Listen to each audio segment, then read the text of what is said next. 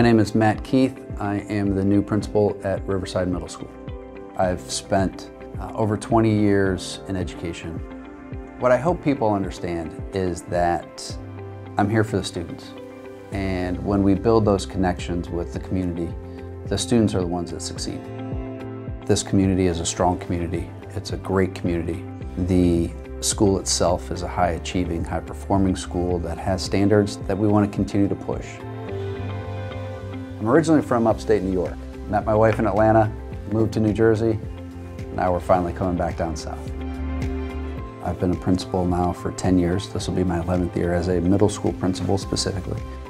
My job is to support the staff, um, support them in building their own community within their classroom, helping them communicate with parents and, and when they have a challenging situation is to be there for them.